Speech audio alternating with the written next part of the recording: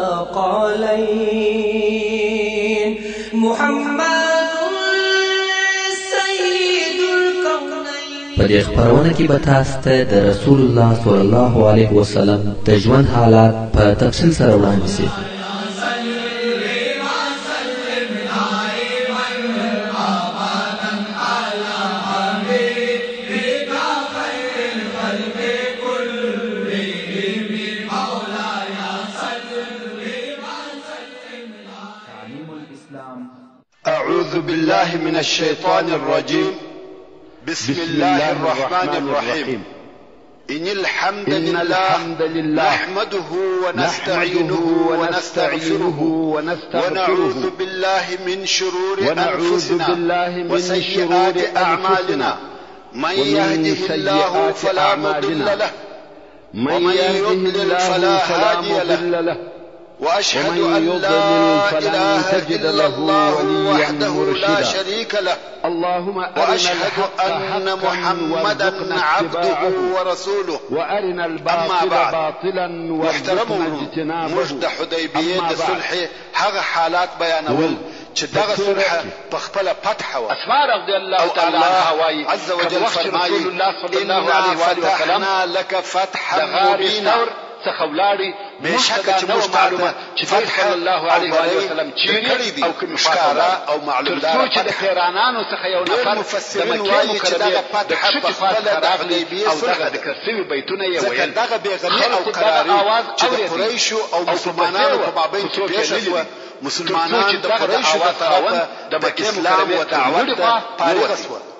نو اسماء رضی الله تعالی عنها وايي، دين مبين اسلام داسې دين دی چې څوک په خبرو او دلايلو نه شي پر غالب کېدلی.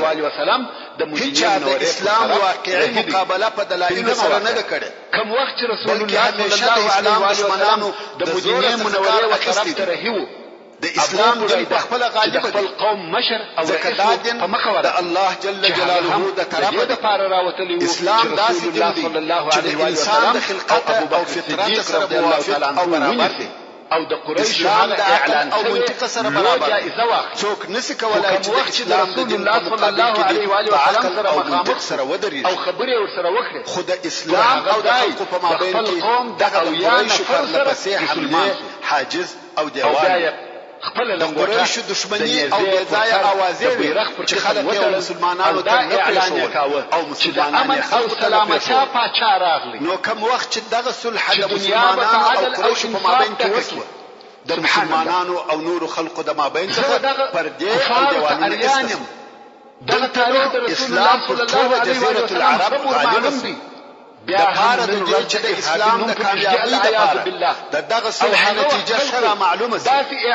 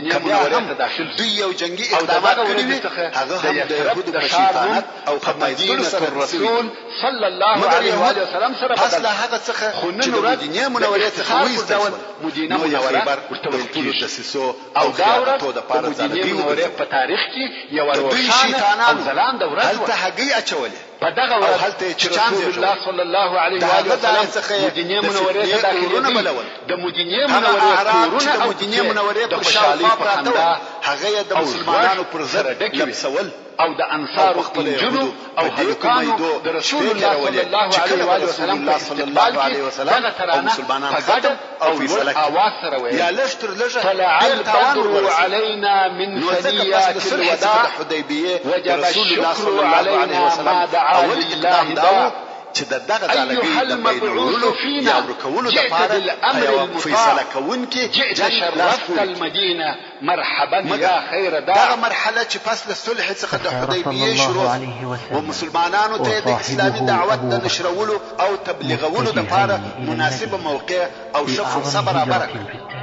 او په دغه وختو کې د مسلمانانو د دعوت او تبلیغ اړخ او نشاط تر جنګي او عسکري حرکتو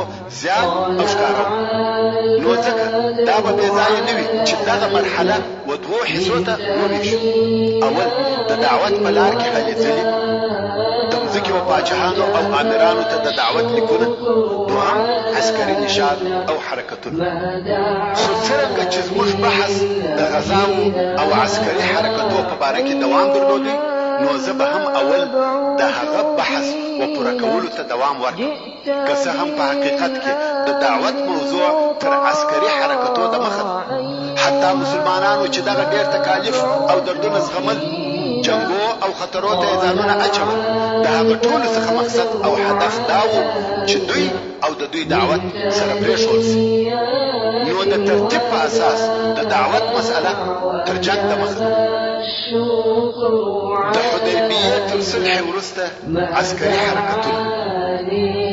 د الغابه غزا یا د ذي قرد غزا دغه غزا په حقیقت کې د بني فزاره د قبیلې د یوې ټولۍ شړل چې یوه چریکي حمله یې پر مدینه منوره وکړه او دا هغه یوازنۍ غزا ده چې رسول الله صلی الله علیه وسلم د حدیبیې تر صلح وروسته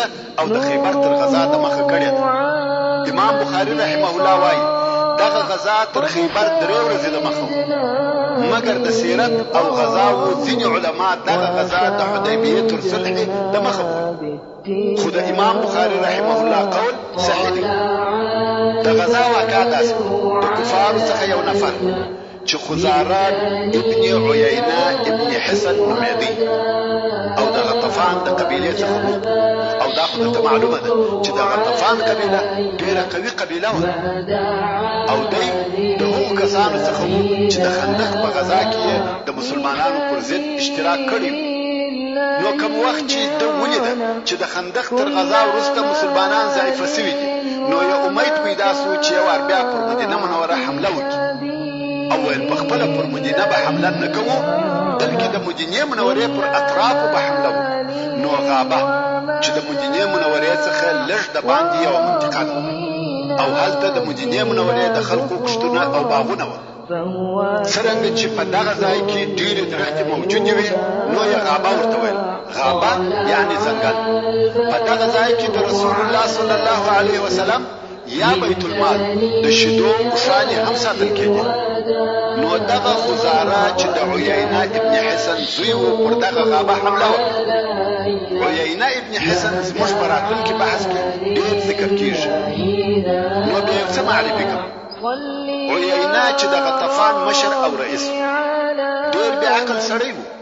چې رسول الله صلی الله علیه وسلم احمق مطاع بللی دی یعنی هغه بیا عقل چې اطاعت کیږي او امر یې چلیږي عیینه د عقل فکر او تدبیر خاوند نو مګر بیا هم د غطفان د قبیلو مشر هر حکم چې به وکړي د د قبیلې عملي کاوه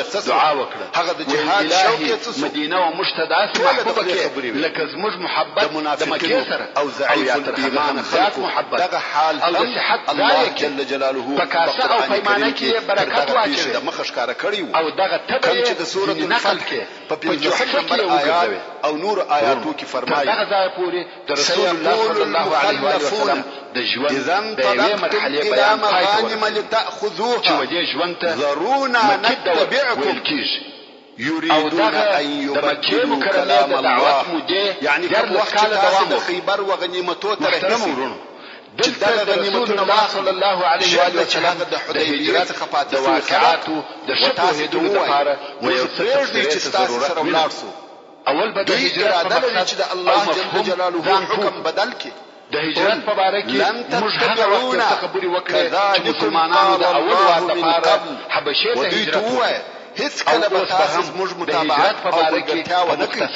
همدارنګه الله جل جلاله لا پخوا فرمایلي وو، یعنې ستاسې د دغه غوښتنې په باره کې، پخوا لا ماته الله جل جلاله هدایت کړی وو، چې تاسې په دې سفر کې هیڅکله نه شئ تلای. که ولاړ شئ، نو د دې تګ معنا دا شوه، چې د الله جل جلاله په حکم کې تغیر راغلی، حال دا چې د الله جل جلاله په احکامو کې